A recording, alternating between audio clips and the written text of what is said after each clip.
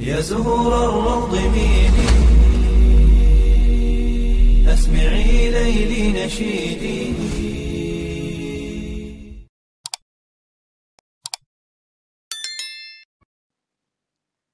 Assalamualaikum warahmatullahi wabarakatuh. Syukur Alhamdulillah, dalam kesempatan yang mulia ini kita masih diberikan banyak kenikmatan sehingga kita dapat berjumpa kembali di channel ini. Marilah kita senantiasa bersolawat serta salam kepada junjungan kita semua, yaitu baginda Nabi Muhammad sallallahu alaihi wasallam. Allahumma sholli ala sayyidina Muhammad wa ala ali sayyidina Muhammad. Doa dan harapan saya semoga sahabatku semuanya selalu diberikan kesehatan, diampuni dosa-dosanya, dikabulkan segala doa dan hajatnya, serta dilapangkan rezekinya oleh Allah Subhanahu wa taala. Amin ya rabbal alamin. Sahabatku yang dirahmati oleh Allah Subhanahu wa taala, Arti dari bertemu dengan orang yang telah meninggal dalam mimpi terdengar sangatlah menyeramkan. Namun, perlu dipahami bahwa mimpi tersebut sebenarnya mengandung makna bahwa orang yang telah meninggal tersebut mungkin merindukan kiriman doa dari keluarganya yang masih hidup. Selain itu, mimpi semacam itu juga dapat menunjukkan bahwa orang yang telah meninggal yang muncul dalam mimpi tersebut menginginkan agar keluarga yang masih hidup lebih taat dalam beribadah atau melakukan kebaikan di dunia ini. Menurut sebagian ulama, arwah yang telah meninggal dipisahkan dari tubuh mereka ketika mereka meninggal dunia. Begitu pula arwah yang masih hidup dipisahkan ketika mereka tidur. Kemudian dalam dunia ruh, mereka saling mengenal sesuai dengan kehendak Allah Subhanahu wa taala. Di dalam ayat suci Al-Qur'an, Allah Subhanahu wa taala berfirman yang artinya, Allah memegang nyawa seseorang pada saat kematiannya dan nyawa seseorang yang belum mati ketika dia tidur. Maka dia tahan nyawa orang yang telah dia tetapkan kematiannya dan dia lepaskan nyawa yang lain sampai waktu yang ditentukan.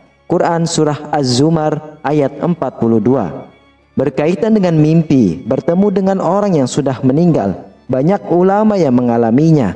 Mereka bertemu dengan orang-orang yang soleh dalam mimpinya Salah satunya adalah apa yang telah disampaikan keluarga Hashim Al-Judari yang telah menceritakan bahwa ia pernah melihat Hashim Al-Judari dalam mimpinya setelah Hashim meninggal dunia. Lalu lelaki itu bertanya, "Bukankah kamu telah mati Hashim?" Lalu Hashim menjawab, "Benar." Lelaki itu bertanya lagi, "Sekarang engkau berada di mana?" Hashim menjawab, "Saya demi Allah berada di suatu taman dari taman surga." bersama sejumlah teman-temanku. Lalu lelaki itu bertanya lagi, apakah yang berkumpul itu tubuh kalian ataukah arwah kalian? Hashim menjawab, mustahil bila yang berkumpul adalah jasad kami, karena jasad kami telah hancur luluh dan yang dapat bertemu hanyalah arwah kami saja. Lalu lelaki itu bertanya lagi, apakah kalian mengetahui bila kami berziarah kepada kalian? Hashim menjawab, ya, kami mengetahuinya pada padang hari Jumat dan seluruh hari Jumat serta malam hari Sabtu hingga terbit matahari. Lelaki itu bertanya lagi, "Mengapa demikian? Bukan pada hari-hari lainnya?" Hashim menjawab, "Berkat keutamaan dan kebesaran hari Jumat." Dalam riwayat lain disebutkan bahwa Utsman ibnu Suwaid At-Tawafi mengatakan bahwa ibunya adalah ahli ibadah yang dikenal dengan julukan Rohibah. Ketika ajalnya telah dekat, Rohibah mengangkat kepalanya ke arah langit lalu berdoa, Wahai Tuhan yang menjadi harapan dan dambaanku, selama hidup dan matiku, janganlah engkau menjadikan diriku terhina saat matiku, dan janganlah engkau menjadikan diriku merasa asing dalam kesendirianku. Setelah ia meninggal dunia, Utsman ibnu Suwaid selalu menziarahi kuburnya setiap hari Jumat mendoakan serta memohonkan ampunan buatnya juga buat ahli kubur lainnya. Pada suatu malam aku melihat ibuku dalam mimpi. Maka aku bertanya kepadanya, "Ibu, bagaimanakah keadaanmu?" Ia menjawab, "Anakku, sesungguhnya maut itu benar-benar merupakan musibah yang sangat keras dan sesungguhnya aku segala puji bagi Allah benar-benar ada di alam barzah yang terpuji, yang penuh dengan bau yang harum dan dihamparkan padanya kain sutra yang tebal dan yang tipis sampai hari berbangkitnya nanti. Lalu aku bertanya kepadanya, apakah engkau mempunyai keperluan? Ia menjawab, ya. Aku bertanya lagi, keperluan apa? Ia menjawab, janganlah kau meninggalkan kebiasaanmu menziarahi kami dan mendoakan kami karena sesungguhnya aku benar-benar merasa gembira dengan kedatanganmu pada hari Jumat. Jika engkau tiba di rumah keluargamu, maka dikatakan kepadaku, Hai Rohibah, ini putramu telah datang, maka bergembiralah. Dengan demikian, bergembiralah semua orang mati yang ada di sekitarku.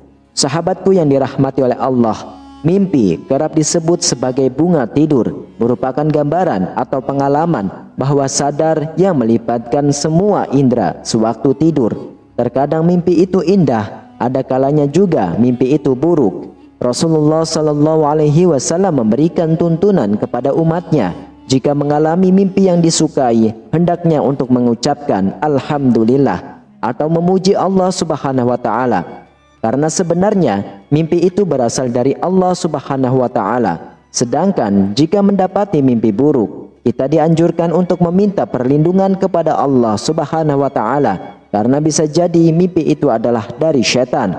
Hal ini seperti yang disebutkan dalam hadis yang diriwayatkan oleh Abu Sa'id Al-Khudri radhiyallahu anhu bahwa Rasulullah shallallahu alaihi wasallam bersabda, "Jika salah seorang dari kalian bermimpi yang ia sukai, Sebenarnya mimpi tersebut berasal dari Allah, maka hendaklah ia memuji Allah karenanya dan ceritakanlah. Maka sebaliknya, apabila salah seorang dari kalian bermimpi lainnya yang tidak disukai, maka itu berasal dari setan. Maka hendaklah ia meminta perlindungan dari keburukannya dan jangan menceritakannya kepada orang lain sehingga tidak membahayakannya. Hadis riwayah Imam Bukhari. Sahabatku yang dirahmati oleh Allah, Demikianlah penjelasan tentang arti mimpi bertemu orang yang sudah meninggal dunia. Hanya ini yang bisa saya sampaikan dan bagikan. Semoga bermanfaat untuk kita semua. Amin, amin ya rabbal alamin. Wallahu a'lam bisawab. Wassalamualaikum warahmatullahi wabarakatuh.